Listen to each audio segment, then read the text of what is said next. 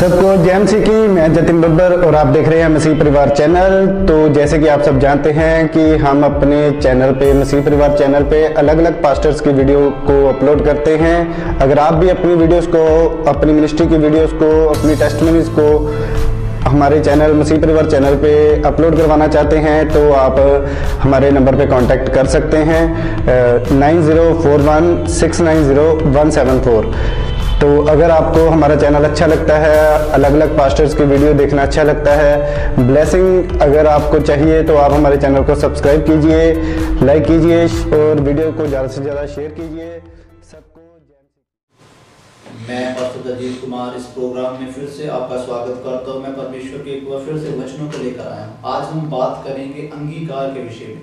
हम अक्सर ऐसा देखते हैं, लोगों में सुनते हैं कि जब हम हम प्रभु में चलते हैं, अगर कोई दिक्कत आती है, कोई मुश्किल आती है तो हम बोलते हैं कि प्रभु कहाँ गया? मेरा ये काम नहीं होगा। अगर कुछ टाइम से बीमारी चल रही है, अगर हमारी प्रॉब्लम है, वो कुछ टाइम से हल नहीं हो रही तो हम बोलने स्टार्ट कर देते हैं कि लोग प्रभु तो मेरी सुन नहीं रहा ये क्या मेरे साथ ऐसा कभी नहीं होगा? लगता है मैं कभी गरीबी से बाहर नहीं आऊँगा।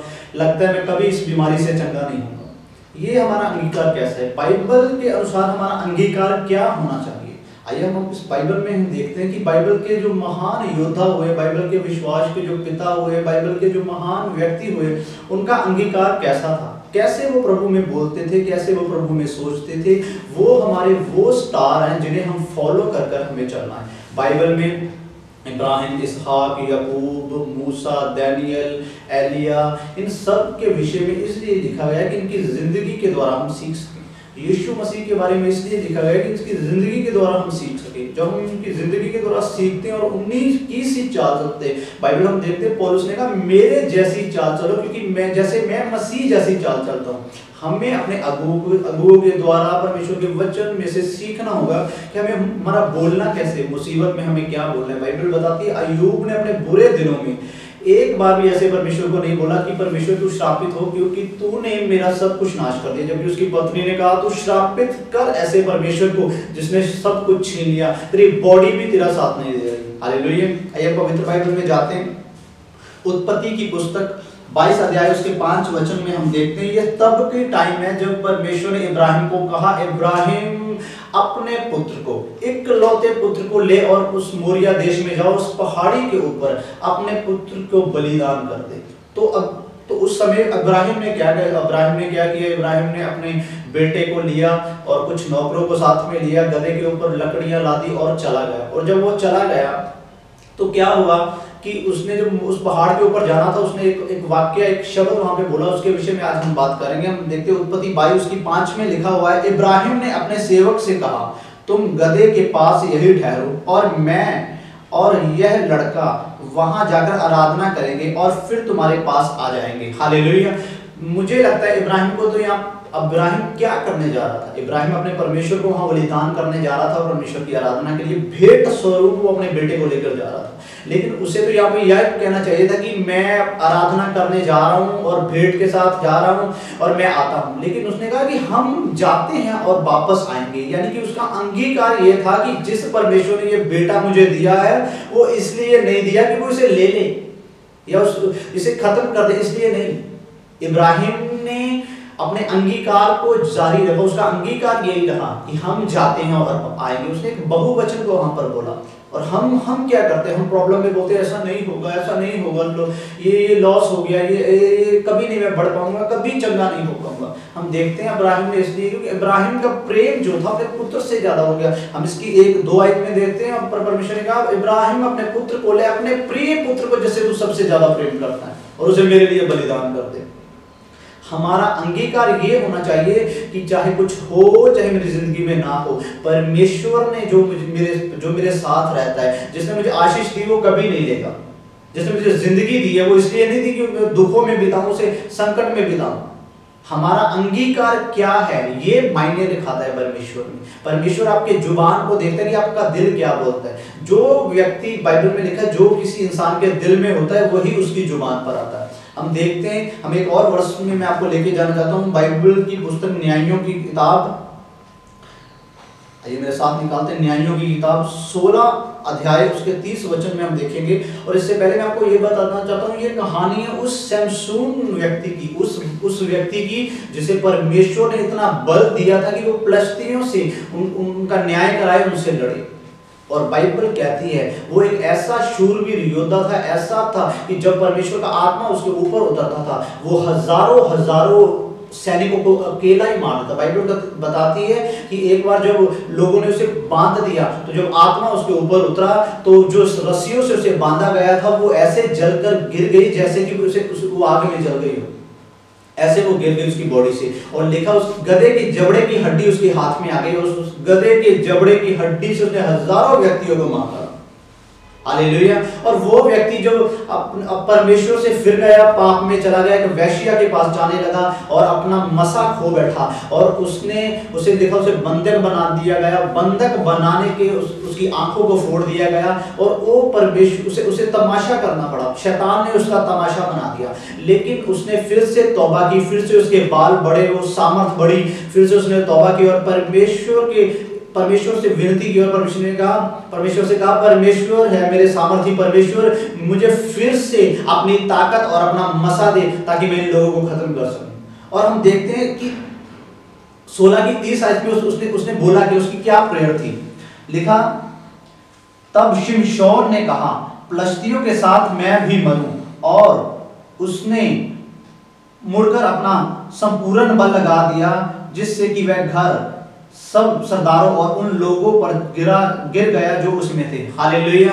और लिखा है सैमसून ने कहा कि मुझे दो खंभों के साथ खड़ा कर दो उस घर में जहाँ उस वक्त उस उस एक एक भवन था, उसमें उसका तमाशा बनाया जा रहा था, उसे उससे उसे तंग किया जा रहा था और उस, उसे उसे उसे उसे शर्म ना किया जा रहा था। तब उसने परमेश्वर से माफ़ी मांगी और परमेश्वर से कहा, परमेश्वर, मुझे अपना बल दे दे सामर्थ। और लिखा वो भवन, वो जो, वो जगह थी, वो दो पिलरों के ऊपर खड़ी थी और वो दोनों पिलरों के साथ वो सहारा लेकर खड़ा हो गया और जब परमेश्वर की सामर्थ फिर से उसके बीच में आई तो लिखा उसने उन दोनों पिलरों को धकेल दिया और वो लोग उसमें मर गए। और लेकिन उसने जब सामर्थ मांगी तो परमेश्वर ने उसे सामर्थ दी। लेकिन उसने कहा कि परमेश्वर, इन्हीं प्रस्तुतियों के साथ इसी भवन में मैं भी मर जाऊँ। हालेलुया। हम देखते इब्राहिम के अंगीकार ने उसे और उसके बेटे को बचा लिया। लेकिन संसून के अंगीकार ने हज़ारों लोगों के साथ उसे भी मार डाला। परमेश्वर ने उसे इसलिए सामर्थ्य नहीं दी थी कि वो भी उसके साथ मर जाए। अगर वो अगर वो ऐसा ना कहता, परमेश्वर, मैं भी इनके साथ मरूं तो वो ज़रूर वहाँ से बच जाता। हमारा अंगीकार हमारी ज़िंदगी दे सकता है, हमारा अंगीकार हमें मौत दे सकता है। हालेलुया। बाइबल बताती है यीशु मसीह के बारे में प्रभु यीशु मसीह एक ऐसे व्यापारी के बारे में जिसके पास तीन मनुष्य आते हैं, एक को वो पाँच तोड़े देता है, एक को दो तोड़े देता है, एक को एक देता है। और वो उनका मालिक उन्हें कहता है कि जाओ व्यापार करो। और जब व्यापार करने का टाइम आता है तो जो पाँच जब मालिक आता है हिसाब लेने के लिए तो जिसने, जिसे पाँच तोड़े दिए गए थे, देखा उसने व्यापार किया और पाँच और और और ज़्यादा उन्होंने उन्नति की पाँच को और कमाया। जिसने दो से व्यापार किया उसने दो से और ज़्यादा कमाया। और जिस बंदे को एक दिया गया था, उसने क्या किया? उस एक को जाके दबा दिया और जब मालिक आया, मालिक के सामने उसने जाकर कहा, मालिक, ये तेरा वो सिक्का है, ये तेरा वो तोड़ा है जो तूने मुझे दिया था, मैंने इसे ज़मीन में दबा दिया। इसलिए ये जानकर कि तू एक कठोर व्यक्ति है।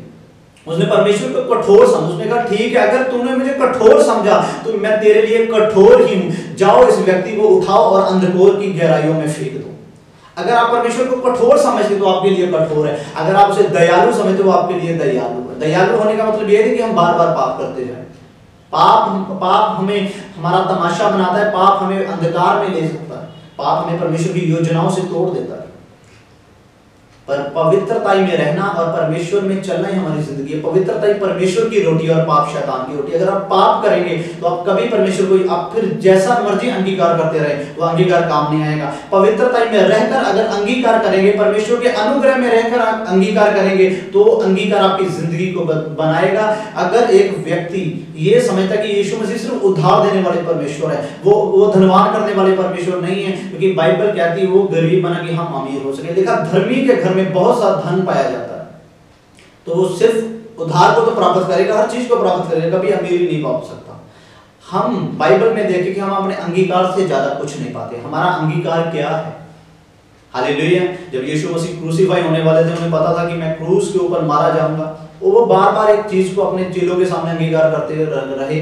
उन्होंने कहा, मैं इस जगत में मरने के लिए आया हूँ। मैं मारा जाऊँगा गाड़ा जाऊँगा तीसरे दिन मुर्दों में से जी उठा और ऐसा हुआ वो तीसरे दिन मुर्दों में जी उठे। उन्हें शक नहीं था ऐसा पता नहीं कि होगा या नहीं होगा। हमारा अंगीकार है क्या? जब दाऊद गोलियत के सामने गया और गोलियत ने कहा, मैं तुझे मसल दूँगा, लेकिन दाऊद ने कहा, मैं तेरा सर तेरे धड़ से अलग कर दूँगा अपने परमेश्वर यहोवा के नाम से। उसके अंगीकार ने, उस उस उस हियाव ने उसे जिता दिया। हमारा क्या अंगीकार है? इब्राहिम ने कहा, हम जाते हैं, आराधना कर कर वापस आते हैं। और शमशूर ने क्या कहा, मैं भी इन्हीं प्रश्नों के साथ मर जाऊँ। आपका अंगीकार आपको जीवन देगा और आपका अंगीकार आपको मृत्यु देगा। आपका अंगीकार आपको आपकी मुश्किलों से बाहर निकालेगा और आप ही का अंगीकार, आपका ना किया हुआ अंगीकार आपको उन्हीं मुश्किलों में रहने के लिए मजबूर कर देगा। हालेलुया। मैं चाहता हूँ आप अपने अंगीकार को सही रखें, पॉजिटिव बोलें बाइबल कहती है हम अच्छा बोले, वो बोले जो हमें, जो जो हमारी उन्नति के लिए पवित्र बाइबल में लिखा हुआ है कि कम बोलो। लेकिन जब तुम बोलो, तुम्हारे मुँह से उन्नति की बातें निकली, ऐसी बातें निकले जिसे सुनने वाले पर अच्छा प्रभाव पड़े और उसकी उन्नति हो।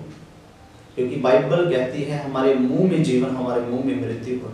अगर हम ये बोलते रहेंगे, हम कभी नहीं चंगे होंगे, कभी नहीं चंगे होंगे, पता नहीं परमेश्वर मुझे क्यों नहीं चंगा करता, ऐसे आप चंगे नहीं हो सकते। ऐसे आप कभी भी किसी प्रॉब्लम से नहीं निकल सकते। अगर आप ये बोलोगे कि यीशु मसीह के मार खाने से मैं चंगा हो चुका हूँ तो मैं आपको hundred and one percent surety देता हूँ कि चंगाई आपके जीवन में हालेलुया क्योंकि परमेश्वर आपके जीवन में काम करना चाहते हैं, लेकिन वो आपके अंगीकार से ज़्यादा आपके जीवन में कोई काम नहीं कर सकते।